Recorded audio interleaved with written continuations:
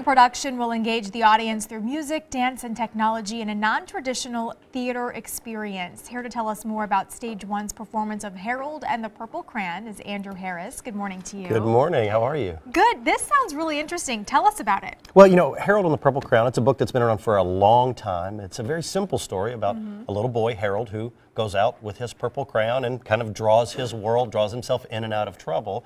And, uh, you know, very simple book. And so what we've decided is to take this story and put it on stage in a very non-traditional way. Mm -hmm. You know, in the book, Harold is all about his own creativity, his own imagination. And now kids today don't use so much crayons as they do tablets, iPhones, technology. Right. Mm -hmm. You know, and parents are always thinking, how do we get our kids' faces out of the screens? And we thought, what if we keep their faces in the screens? What if we embrace that and use that and connect it to a play on stage? And so what we've done is we've created a very non-traditional piece where mm -hmm. in the story, Harold never talks. And so we have a dancer who's playing the role of Harold. And as he draws, we're incorporating animation on stage. Wow. So they'll see his drawings, you know, live on stage uh, in the form of animation.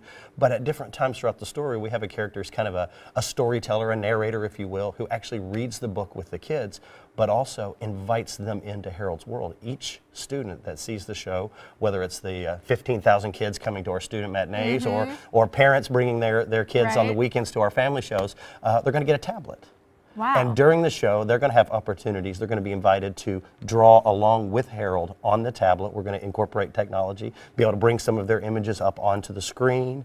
And at the end, we're going to be able to process this, collect all of these, and bind them together and send out uh, a copy wow. of your own book that yeah. you've created on stage with the tablet. So you get to be a part of Harold's world, really incorporating that technology into this live theatrical experience. That really does sound very unique, a lot of fun for the kids Absolutely. and parents. Well, and with another component of that is it's going to be uh, have a live musician, Ben Sollee, mm -hmm, who is mm -hmm. you know well known in this community, cellist who's amazing, uh, is composing the music for the show uh, and is himself a character in the wow. show. He's going to be on stage playing live along with Harold, with the narrator. So really incorporating dance, music, technology, theater mm -hmm. together into this really kind of multi-arts experience. Yeah, it sounds really cool. If you're convinced and you want to go, Stage One's performance of the of Harold and the Purple Crayon is on March 26th and April 2nd. They're both at 11 a.m. We're going to put all of this information on our website, WLKY.com, so you can find out how you can go. Thank you so much. Thank you.